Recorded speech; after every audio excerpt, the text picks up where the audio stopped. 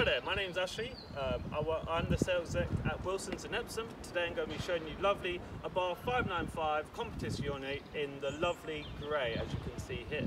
So starting off at the front you get the LED daytime running lights. You do get halogen headlights so you also get the lovely Abarth badge up front with the grills uh, in between as you can see there that allows more air to get to the engine to keep it cooler to help with the higher performance. Now down the side of the car, as you can see, you get 17 inch two-tone alloyed wheels with the Scorpion badge in the centre.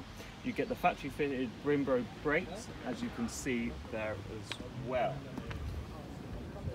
Moving along the side of the car, you get the gloss black wing mirrors. And if we go further down, you get the lovely Abarth decal down the side of the car as well. Moving further down, you've got the 595 badge, and above that, the lovely uh, Abarth badge with the scorpion in the centre, you can see. So, on, as standard at the rear of the Abarth 595 Competizione, you get the standard um, record Monza tuned exhaust at the rear with the manufactured fitted diffuser, as you can see there.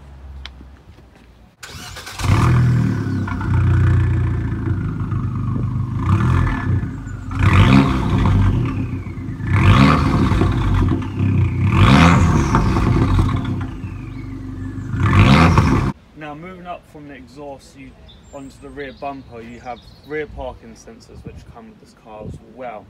Moving up a little bit further than that you've got the 595 badging as well as you can see there and the best thing about these convertibles the roof sits on top of the boot lid so it doesn't eat into the boot space so you've still got a decent boot space which is roughly the same litres as the hub. So moving into the interior you do have a lovely flat bottom uh, sporty steering wheel that has leather, the Alcantara, and you've got the carbon as well. It's also multifunctional, so you've got your volume buttons to your left, and on the right you've got buttons to go for your uh, Spotify or your radio station, whichever one you prefer to listen to, and you can answer and hang up calls as well. You get a full digital instrument cluster as well with a digital digital speeder, which most people do prefer. Up top, you do have Alcantara above uh, the binnacle. From the turbo gauge, you get a 7-inch inf uh, infotainment screen. It's all touchscreen as well. So you've got your radio, you can browse through it. Uh, moving across, you've got your media for your Bluetooth connectivity to listen to your Spotify or what other music channels you listen to. Moving across, you've got your built-in navigation as well. You do have Uconnect, which just tells you about the trip computer and such.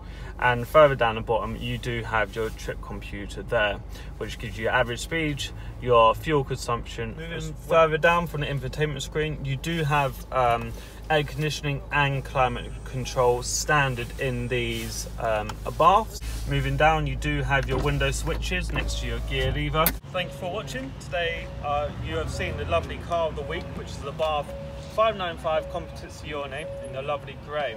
If you are interested and you want to know more information, please do contact us or visit our website at wilsons.co.uk or you're more than welcome to pop down to our showroom or call us and we can arrange an appointment for you to test drive the lovely Abarth.